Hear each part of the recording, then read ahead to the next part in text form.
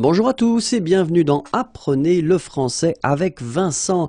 Et dans cette vidéo, nous allons découvrir ensemble le verbe avoir conjugué au futur proche. Le verbe avoir dans votre langue. Avoir, futur proche.